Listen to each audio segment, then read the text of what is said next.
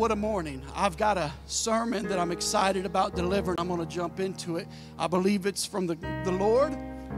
I know it's from the Lord because everything in hell has tried to stop this thing. Hey,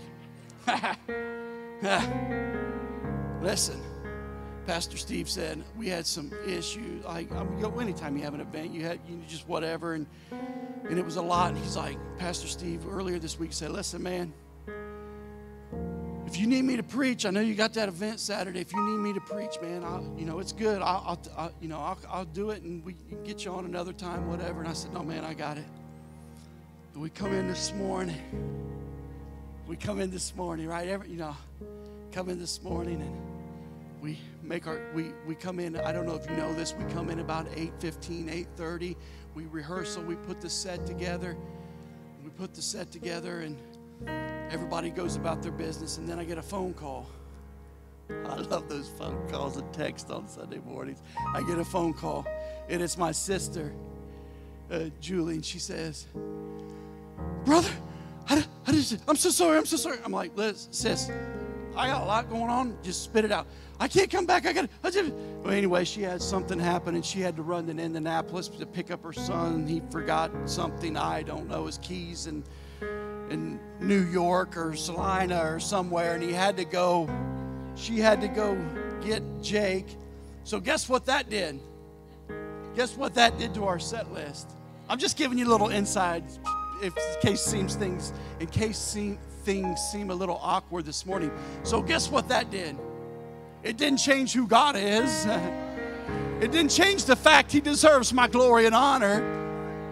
It just kind of made the waters swirl around me. Uh, it just made the waters get a little rough. But I know the peace speaker. Didn't change the fact that's who He is.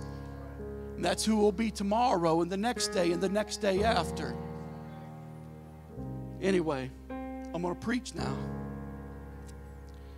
My wife told me she's not here. Annie's not well. So keep Annie in your prayers. She said, Be short. They can't handle your long messages. I said, Well, I'll do my best. So I'm going to do my best to be short. I got one point, and my point is this payday's coming. There it is. It's up there. I said, Payday's coming. There's a payday coming. That's a good spot to clap. It really is. I, I uh, some of you may not know what kind of payday is coming, but let me just remind you there's a payday coming. Did anybody get a payday candy bar in the house this morning? I don't know what you did with your payday. I think some of you probably ate your payday already. If you did do that, please don't leave your wrapper on the church floor or in the seat back in front of you. Please just put that in your pocket or in your purse. If you ate your payday, I'm just curious. I want you to confess right now. Say, I ate my payday. Oh my goodness. Uh, uh, hey, either either did I see one hand go up? It's okay. Sometimes I eat my payday too. Like literally.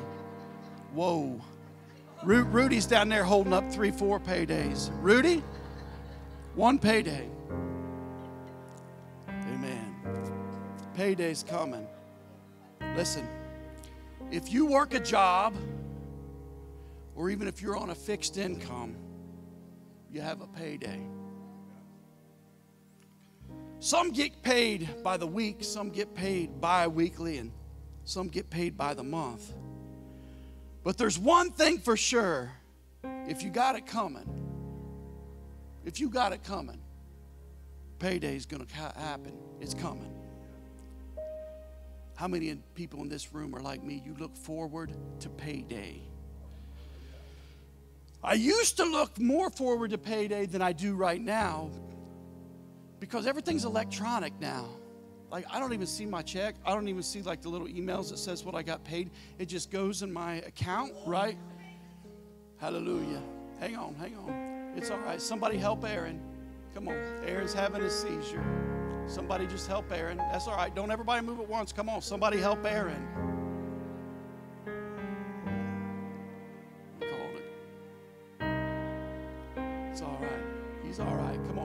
Just asked you that you help Aaron this morning.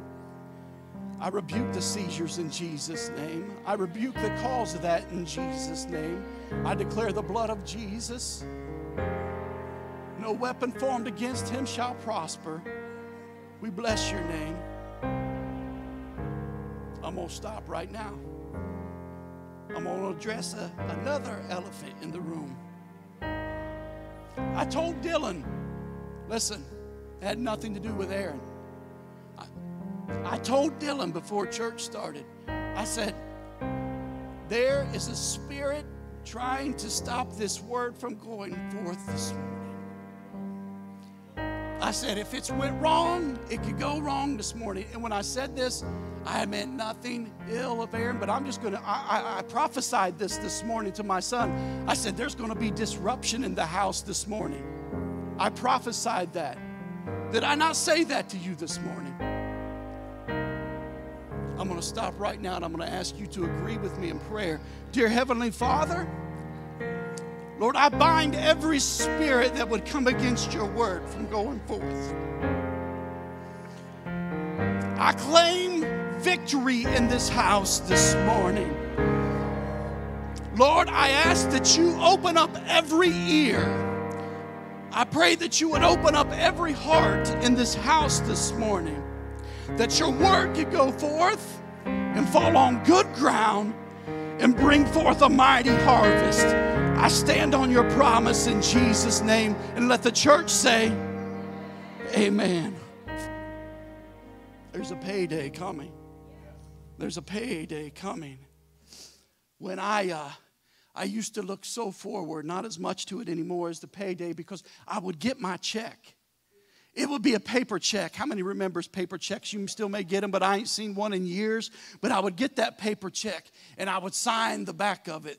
And as a young man, I was out of school. I would sign that check and I would take it down to Big Bear. Y'all remember, I don't know if y'all remember Big Bear. I would take that check down to Big Bear and I would cash that check at the Big Bear.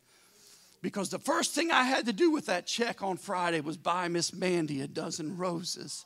Every Friday. Now, don't clap your hands. I don't do it anymore. You should say boo. You should still do that.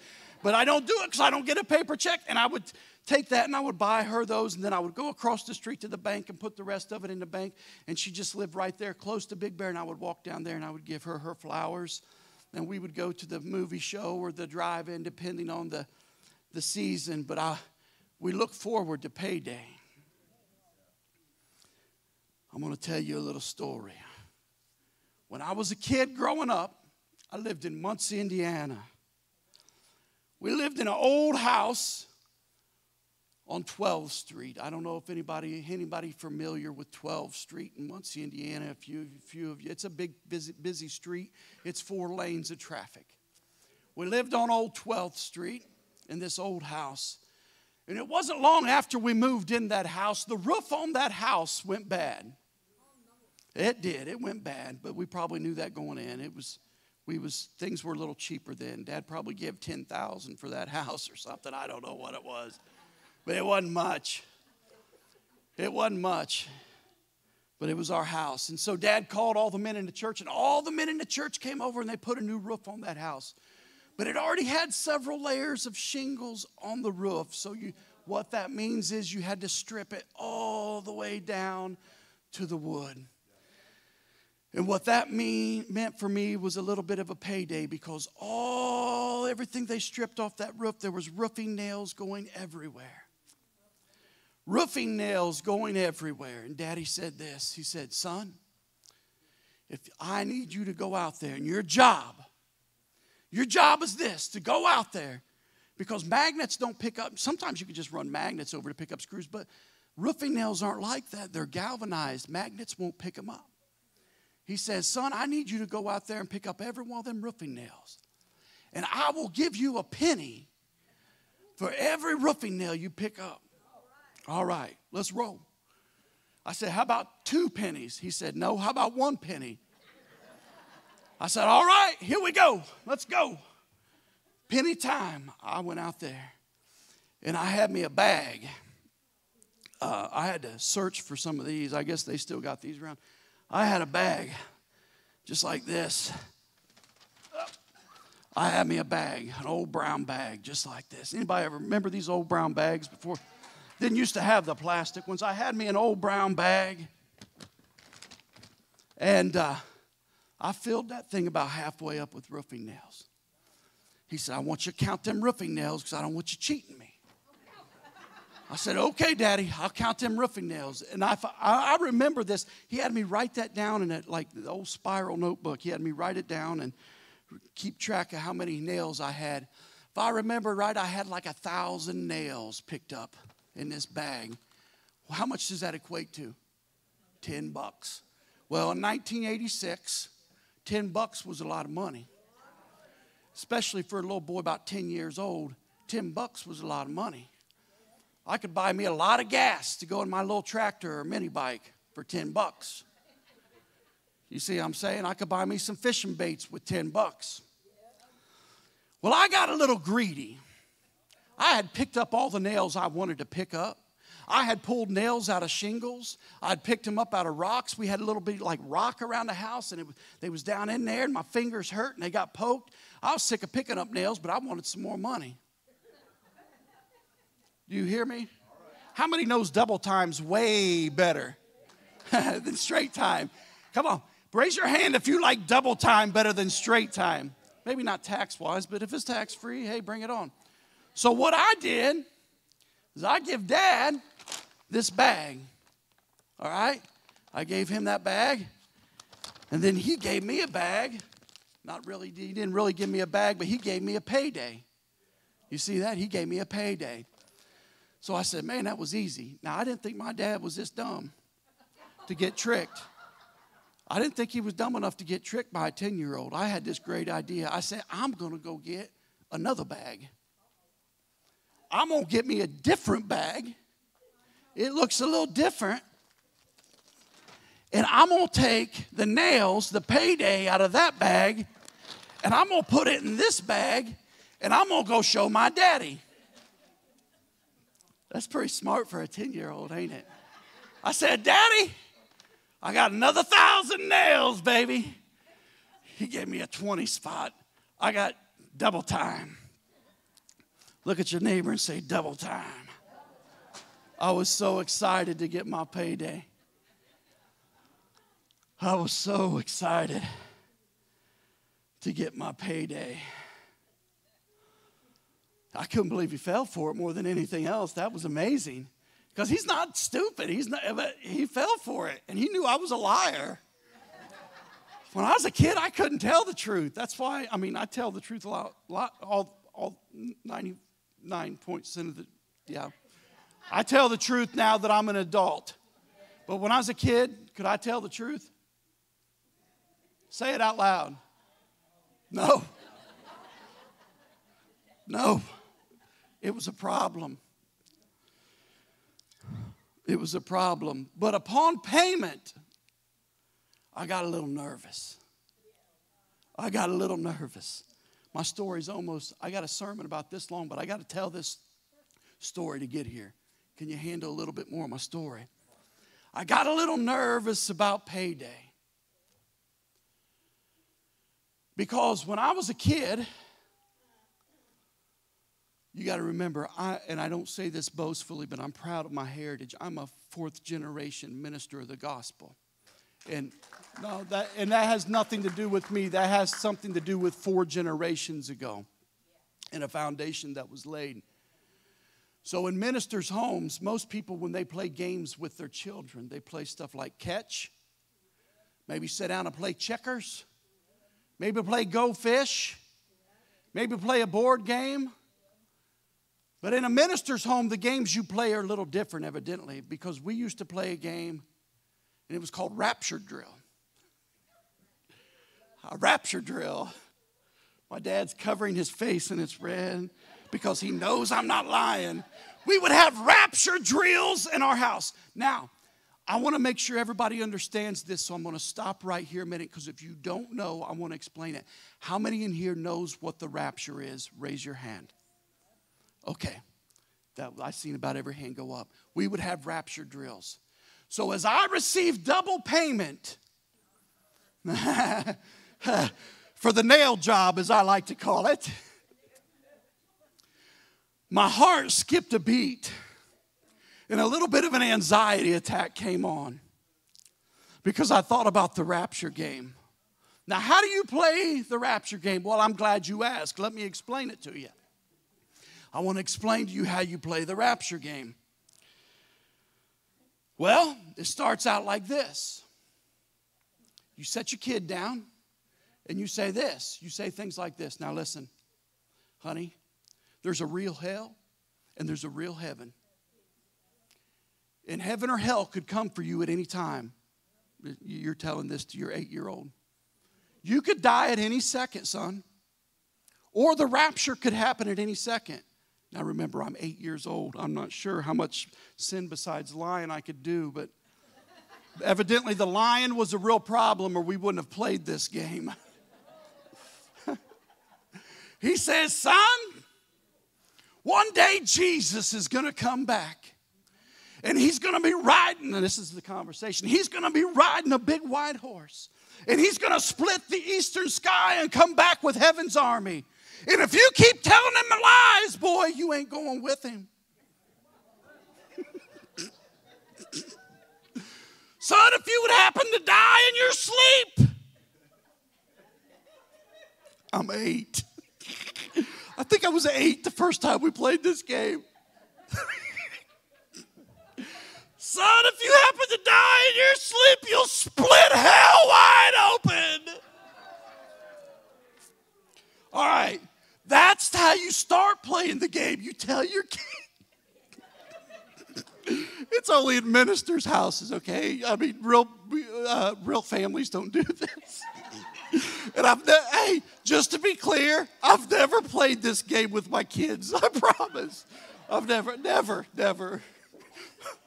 okay, you're gonna go to hell, boy. I know you're just seven, but look at that sin in your life. All right. So that's how the game starts. All right, so this game's not like a regular game. This game can last for days. It can last for weeks, right? You just stop it right there with that conversation. It stops. Hey, son, do you want to go play catch? Yeah, Dad. Go out and play catch. Maybe you actually do play a game of checkers. But then about three days later, hey, son, you remember that talk we had the other day? And as soon as he says it, your heart just starts. That's probably why I had to have heart surgery at 20, 26. He said, Son, you remember that conversation? Well, huh?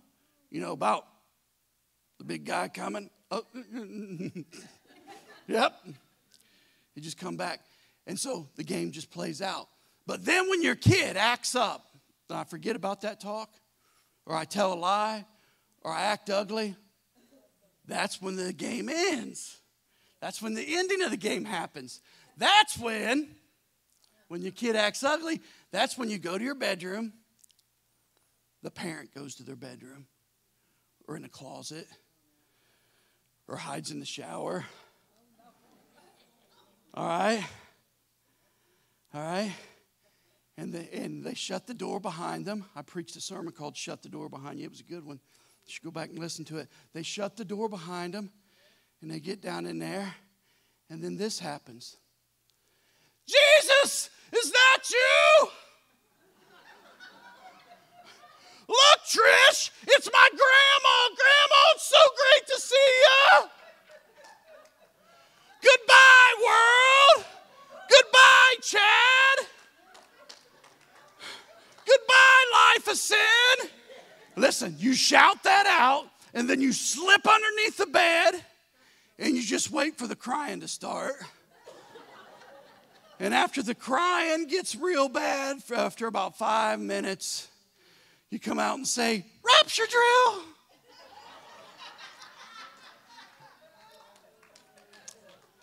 Rapture drill. Paydays coming.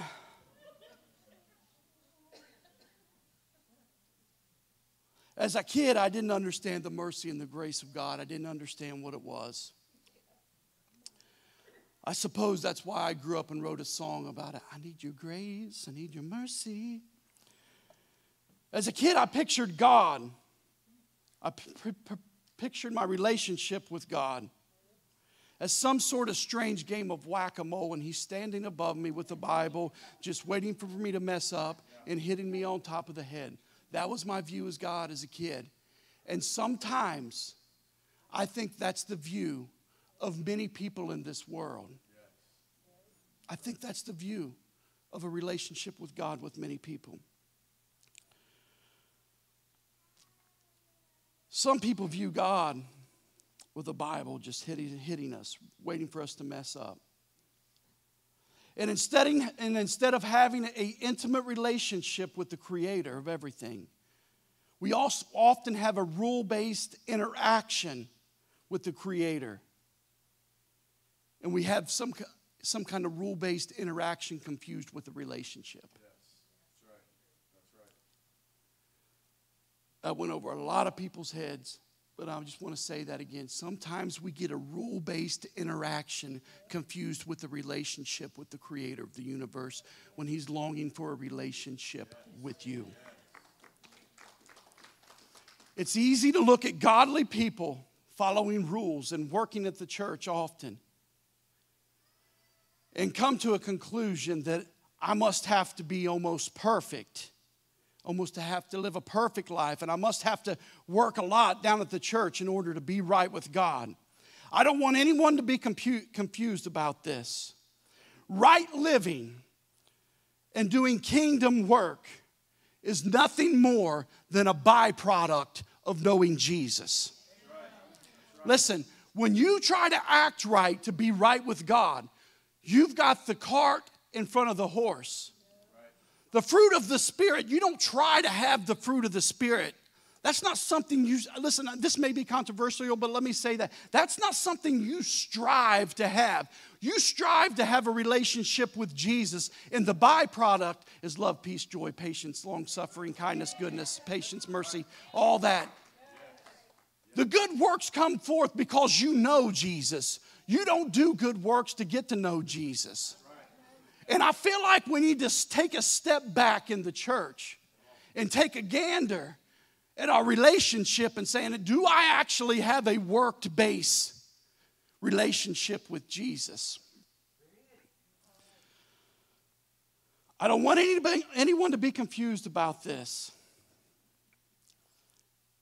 This is not something that I'm forced to do, it's something that I do because of who lives in me. Luke 6:45 says this, out of the abundance of the heart the mouth speaks. Out of the overflow of what's in my heart, it is produced in my actions. It is produced in what I do. It's called overflow. For example, if a powerful Sunday, mor- Sunday morning worship service experience does not happen for you, it's not because you came to the church house, prayed up, read up, and you've spent every day of the week in prayer with Jesus. I know that hurt and I know that made some people mad, but let me go back. I want to say that one more time because I kind of butchered that. If a powerful Sunday morning worship experience doesn't happen for you, it's not because you've spent time with Jesus. What you've been involved in all week is what's going to overflow out of your life, even on Sunday morning. Every day. I want to read a Proverbs to you Proverbs 23 6. Don't eat of the food of the one who is stingy, and do not crave his delicacies. As the man calculates the cost to himself, this is what he does. He tells you to eat and drink, but he doesn't really mean it. The King James Version said it like this As a man thinks in his heart, so is he. I wonder as we come in on Sunday morning and we sing and we worship God, if God doesn't look at that and say this, they don't mean it. Because as we're thinking, and we're coming in just doing a thing because this is what we do on Sunday morning, but do we mean it? Is it real praise? Is it real honor? Is it real glory that we're projecting to Him, that we're giving to Him, that we're offering to Him. I saw, I'm sorry about that rant. I almost forgot we're talking about a payday this morning. Just do me a favor and just get a little churchy with me and look at the person sitting next to you. Do it. Do it right now. Do it right now. Look at the person sitting next to you and say, Payday's coming. A great payday's coming. A payday involves a type of currency. Let me say that again. I said a payday involves a type of currency.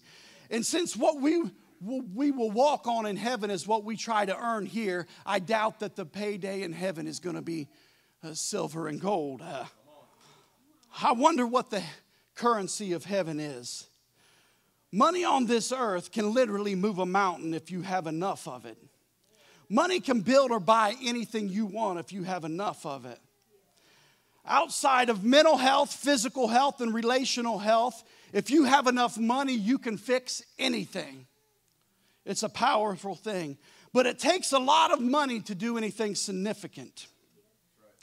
But I'm thankful this morning that money isn't the currency of heaven. But instead, I'm thankful that the currency of heaven is faith. The currency of heaven is faith. And I have good news to tell you this morning. Romans, the 12th chapter, the third verse says this that God has dealt each and every one of you a measure of faith. The currency of heaven has already been instilled with you, and I don't know what you're doing with God, with what God has put into you, but God has put a portion of it inside of you. There may be some people in here wondering, what can I do with faith? What can I do with faith? Before I tell you, let me ask you one question in this house.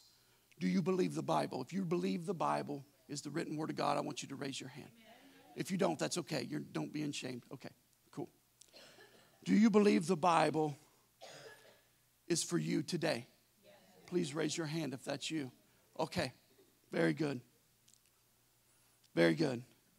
Hebrews tells us what faith is. This scripture was nailed into me as a teenager. Our past, my youth pastor Tony Shaw drilled it into me he said this, and you got to learn this or you're never leaving my class. Now, faith is the substance. It's the substance, it's something of things hoped for with the evidence of things not seen. Now, faith is the substance of things hoped for with the evidence of things not seen. That's what faith is. Oh, it's a big deal. So, what can we do with faith? Matthew 7:20 says this. I tell you with certainty, if you have faith like a grain of mustard seed, you can say to this mountain, mm, Move from here to there, and it will move, and nothing will be impossible to you. Some of you looking at me weird, like those are my words, but they're not my words. That's the words that Jesus said. I didn't say it, the Creator said it. I didn't say it, the one who paid the price for my payday said it. He said, You can move mountains with faith. He said, Nothing will be impossible to you with faith. It would take a lot of money, I already said that, to move a mountain, but you could do it. But it only takes just a little bit of faith. Hey, hey, just a little bit of the God stuff. Allow me to tell you what Hebrews 11 has to say about faith. This is very familiar, but let me go here. By faith, the elders obtained a good report. By faith, the worlds were framed by the word of God. By faith, Enoch walked with God and he wasn't because God took him. Oh my God, that God could take me, that nobody even sees me anymore. By faith, Noah built an ark and escaped disaster. It was by faith that Abraham received an inheritance from God. It was by faith that Sarah found strength to conceive a child at a very old age. It was by faith that Moses refused to be called the daughter this, excuse me, it was by faith that Moses refused to be the, called the son of Pharaoh's daughter. I wish some people in the church today would refuse to be called the sons and daughters of the things of this world. It happened by faith. By faith, the fire was quenched. By faith, the lion's mouth was shut. It was by faith that the sword of the enemy didn't come your way. It was by faith. It was by faith and faith alone.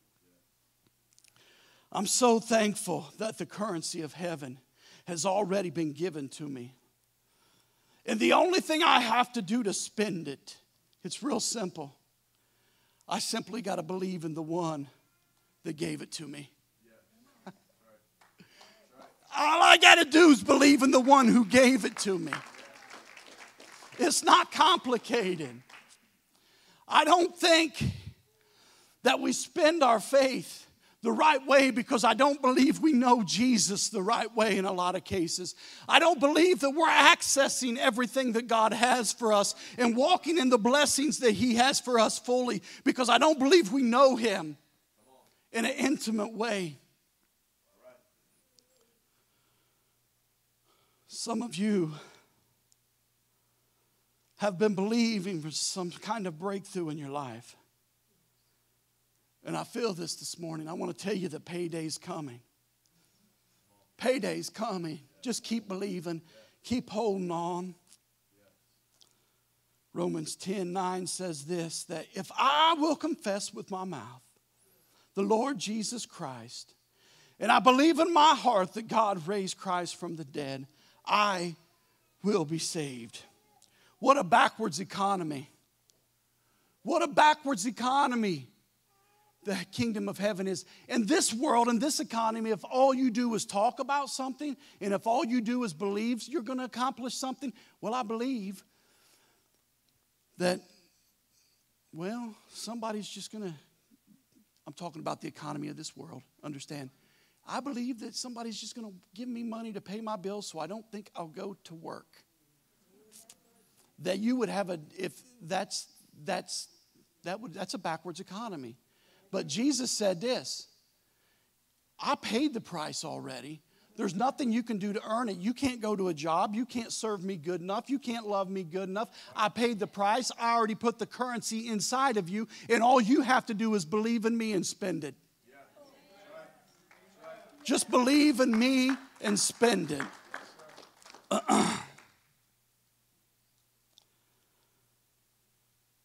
it's already been paid for. There's a generational. Look at your neighbor and say, Payday's coming. Payday's coming. It's a generational payday.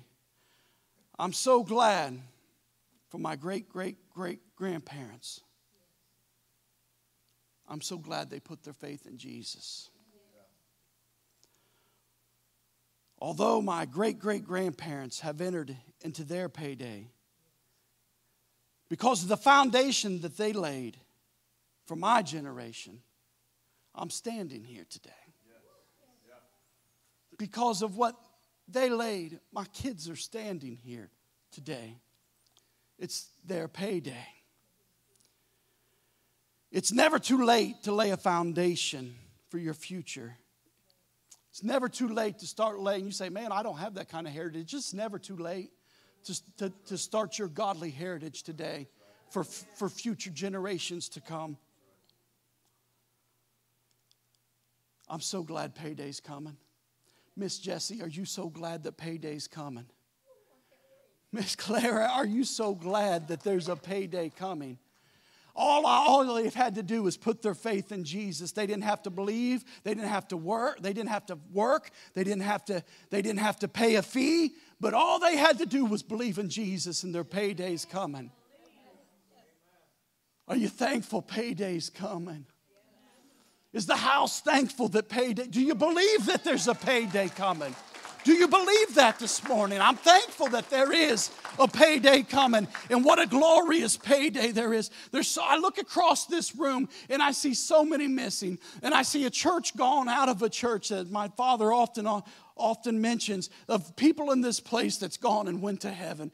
I see Glenn missing. I see Tom missing. And boy, I just think they've entered into their payday. It breaks my heart. Brother Lester's not here with us anymore.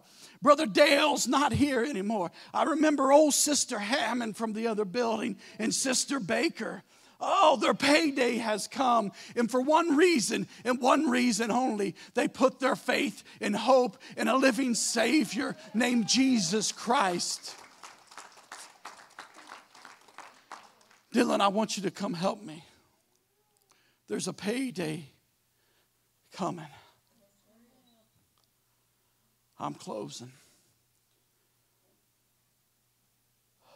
I want to talk just briefly as I close this thing out about the other payday. Because if heaven has a currency, then I want you to know that hell also has a currency. You cannot believe in heaven and the currency thereof without believing in the other and the currency thereof.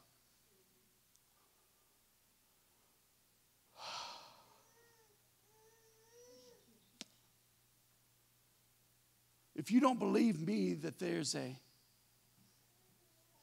different kind of payday other than heaven, and you don't believe me that sin has a currency,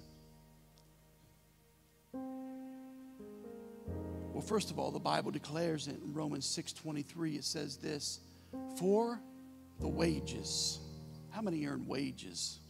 That's what that payday thing is we get every week. For the wages of sin is death, but the gift of God is eternal life.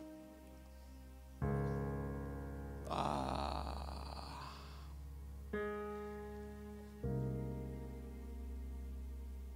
I'm so thankful for the eternal life part. But it doesn't change the fact that it says the wages of sin is death.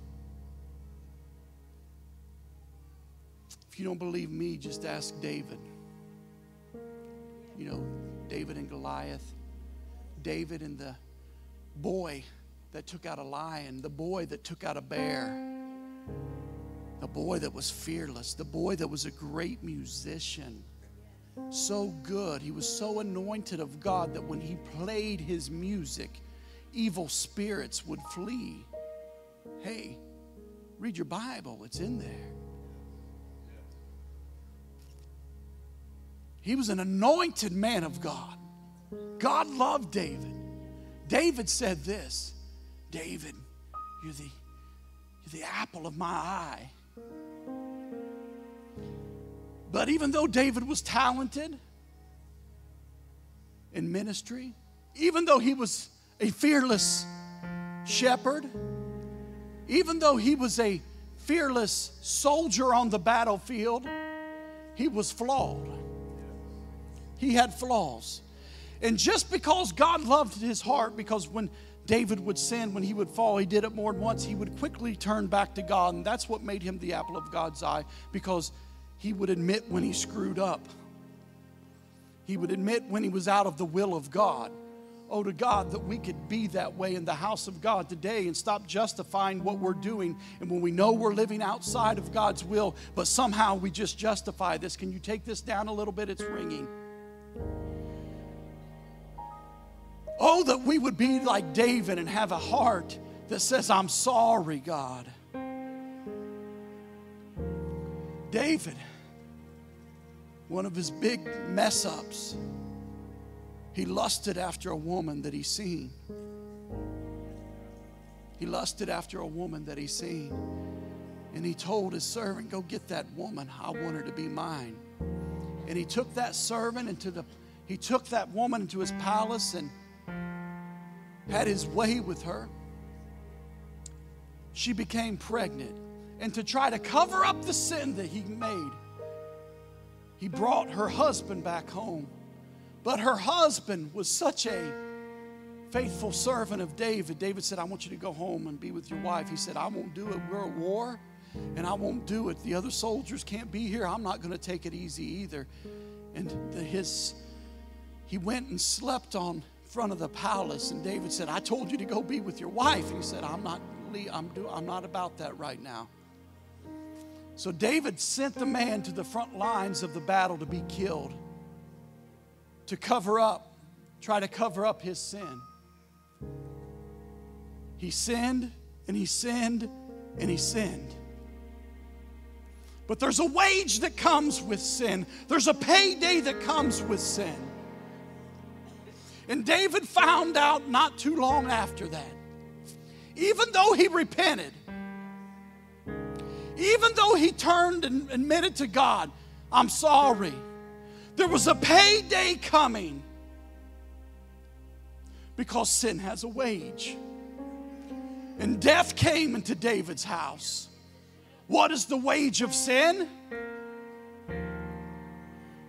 And death came into David's house and took that baby that was conceived in sin. It wasn't that baby's fault, it was David's fault, David's selfishness.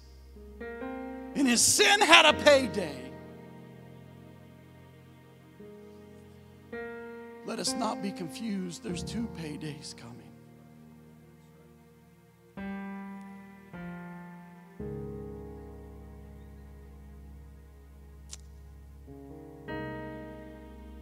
I know I'm giving you information that you already know this morning.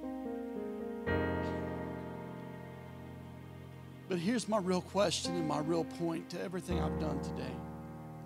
If we know there's two paydays coming, How many's got a payday in your hand? Just hold it up. Thank you. You can put it back down. You can put them back down. If we know there's two paydays coming, but we're too quick to, I don't mean to sound insensitive this morning, but we are awful quick to send everyone that passes away to heaven. I look at the Facebook post and it doesn't matter how the individual lived, didn't matter the lifestyle they lived, didn't matter if they confessed God or not, didn't matter if the fruit of God being in their life is evident, didn't matter how they talked, how they treated people.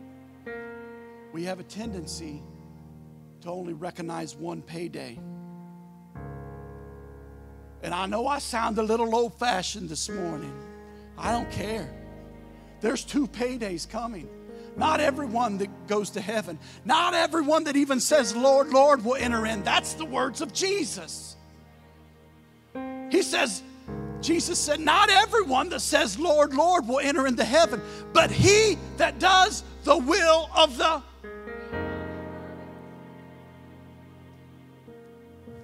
I want to ask you if you're doing the will of the Father. I'm not trying to scare you into something. I'm not trying to give you a rapture drill and scare you into an altar call. I'm trying to I'm trying to present to you the truth gospel message. Not everyone that says Lord Lord will enter in, but he that does the will of the Father. I want to know is God's will being done in your life?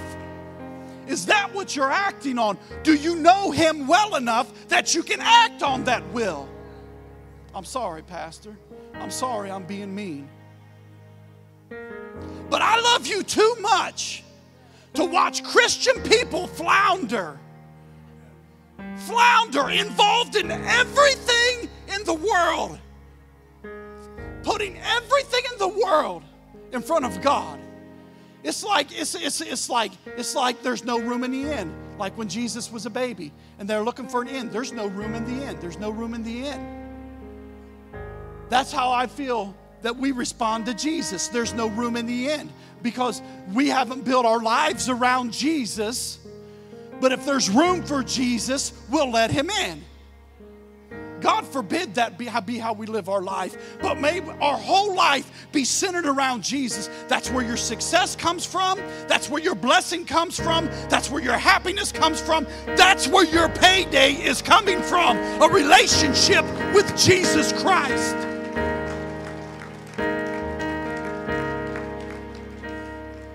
And if we know that there's two paydays coming, my question is why are we living that way? My question is if we know and we really believe that there's a heaven to gain and a hell to shun, why aren't we sharing the gospel more than we're sharing it? Why aren't we pulling our loved ones from the grips of the demonic. My God, I'm preaching to myself too. Don't look at me thinking, boy, he's got it all together. I don't. But there has got to be a paradigm shift in the kingdom of God. And we've got to go into all the world and preach the gospel. All of our world. We have to touch all those in our world. And the ones that don't know Jesus, even if it feels uncomfortable, we have to tell them about Jesus. Even if it's, even if it's, let me just say it again because even if it's uncomfortable, we have to tell them about Jesus. There's a payday coming. There's a payday coming. I don't want anyone to go to hell. What are we going to do to stop it? Hallelujah. And we'll do this altar call. You may be in this place this morning. What your payday is going to look like. You may be in this room this morning thinking the foundation that you had once laid for your family isn't what it once was. You may look at it and say it needs fixed for the future generations. You may be in here this morning just holding on by the last thread, waiting on God's promise. I have good gospel news for you.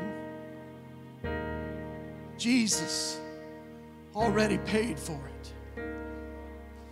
He already paid for the salvation.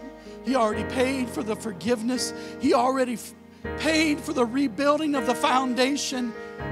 And just hang on because if God said it, He will perform it.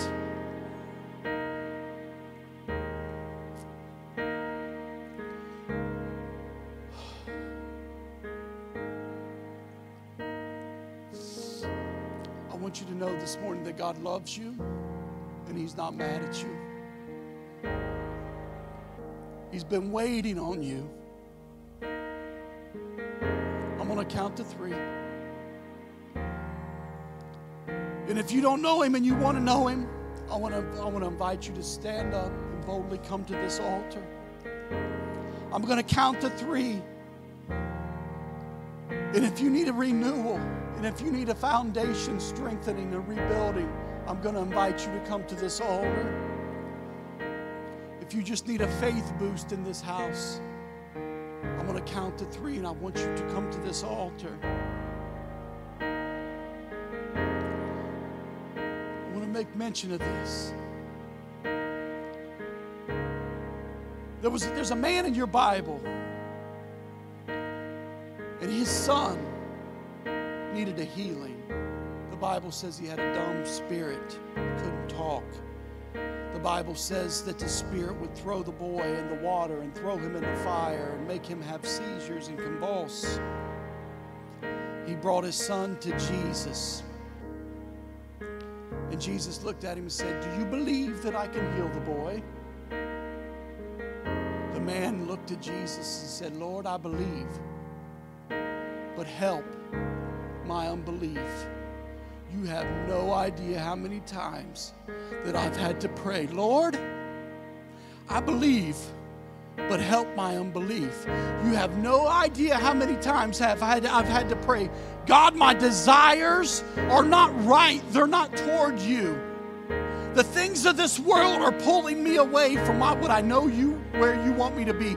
God, change my desires.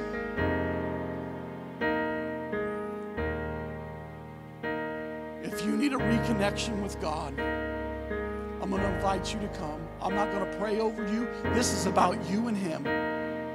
This is about you and Him. One, two, three.